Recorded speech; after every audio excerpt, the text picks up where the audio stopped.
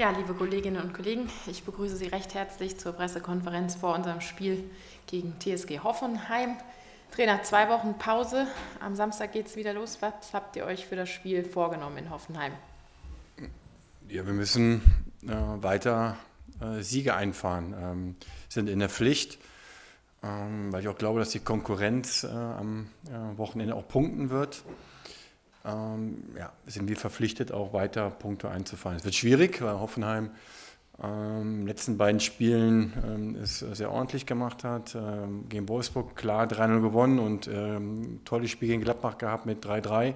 Schießen also viele Tore und äh, da müssen wir aufpassen. Ähm, klar, ähm, spielen gerne nach vorne und mit, mit viel Risiko. Das wird auch uns Möglichkeiten geben, aber äh, müssen halt auch aufpassen, dass wir keine, nicht so viele Gegentore bekommen. Und ähm, das wird nachher so, so dann die Balance sein, um die es gehen wird. Ne? Ähm, selber offensiv zu agieren, ohne selber ähm, zu viele Chancen äh, zuzulassen, also nicht selber zuzulassen. Das wird nicht einfach gegen diesen Gegner, aber nichtsdestotrotz sind wir gut drauf, gute Stimmung in der Mannschaft und äh, glaube schon, dass wir was holen können.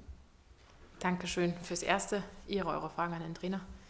Guido Ostrowski legt los. Wie sieht es bei Leo Bittencourt aus und wie weit sind äh, Milosch und Simon Terodde?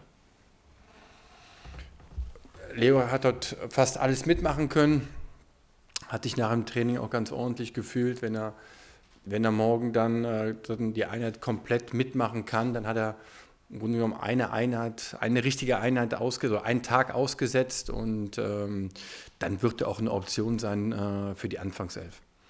Ähm, bei Simon und bei Mats Lehmann ähm, haben heute ähm, auch alles komplett mitgemacht, haben jetzt auch nicht so lange ausgefallen, ähm, eine Woche.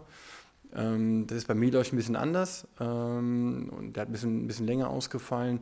Muss man abwägen, auf welcher Position da auch gerade mehr Bedarf ist. Und, aber ich denke mal, dass zwei von den dreien oder einer von den drei auf jeden Fall mit dabei sein wird.